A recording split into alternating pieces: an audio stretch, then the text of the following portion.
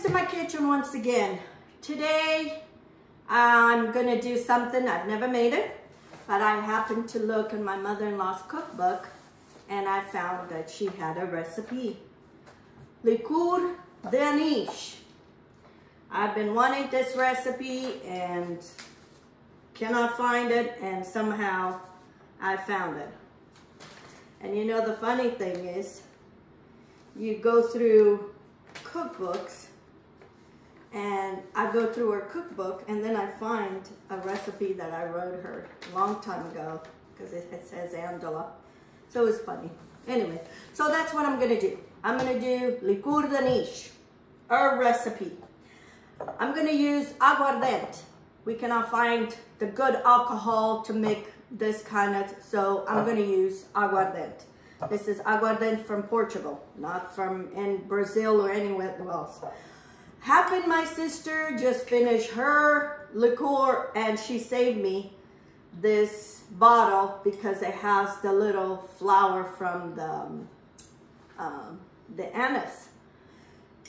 You know, I thought that was a real, that was a fake.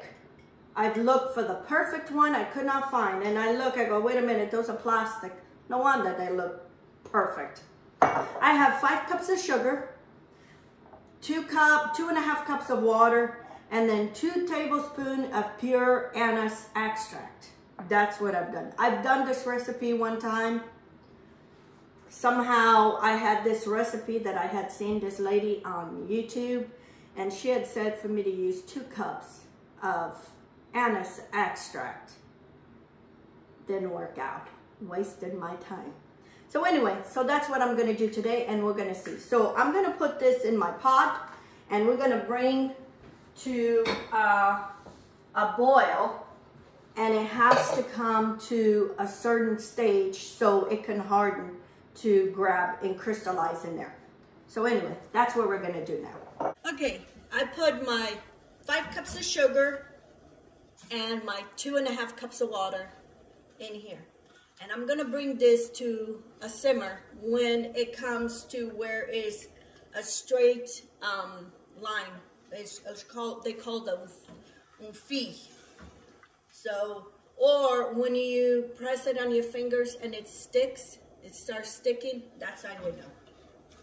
So, I'm gonna do this and then I'll come back.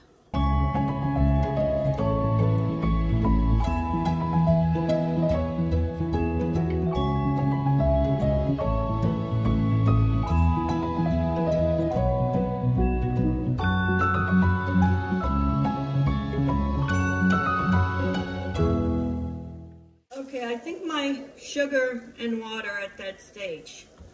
That when they see you feel, it's when you lift it up and it has a continuous stream. That's when you know that is at that stage. I remember my mom teaching me how to do this because she would tell us how to do it and it was so hard to, but I remember this one.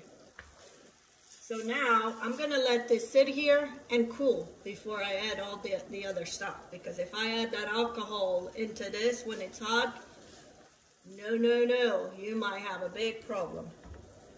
So I'm gonna let this cool and then I'll add the rest of the other ingredients. Okay friends, my sugar and water has cooled off and you can tell you that this is it's gonna work because it's already crystallizing. It had some crystals already on top. And that's what you want. You kind of want to see that straight. Okay, friends, here it is my sugar. And this is what you want. See that continuous um, strand of the syrup? That's when you know. And I know this is right because it started crystallizing already. I'm going to put my um, aguardente or alcohol, whatever you're using.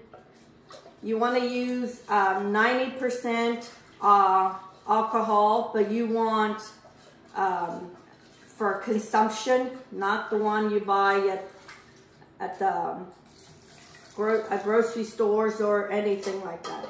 So I mix my um, alcohol or uh, with my sugar And then I have here two tablespoons of anise and we want to mix this. This is pure anise extract. Ooh, it smells like, it already smells like a, um, anise. So I have a bottle here that it has the, still the little plant. And I'm gonna put my anise in there. And you want to put it in your thing in a easy to pour because we don't want to waste none of this. And I'm wasting. Go slow.